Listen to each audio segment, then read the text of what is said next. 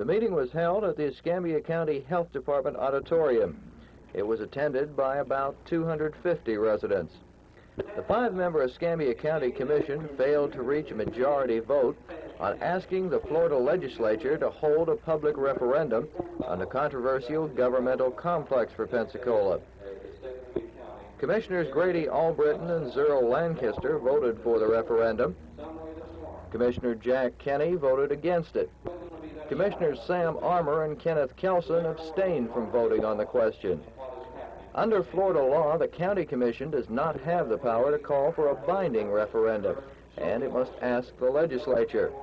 This meeting was called yesterday following the indictments of three of the commissioners, Lancaster, Albritton, and Kelson, on charges of violating Florida's government in the Sunshine Law. That law requires that public business be conducted at public meetings. The three commissioners are alleged to have met behind closed doors regarding the controversial complex. There was speculation that the meeting was an attempt to take some action before Governor Reubin Askew makes a decision on a grand jury recommendation that three indicted commissioners be suspended pending court hearings on those indictments. This is Frank Kury, Channel 10 Newsbeat.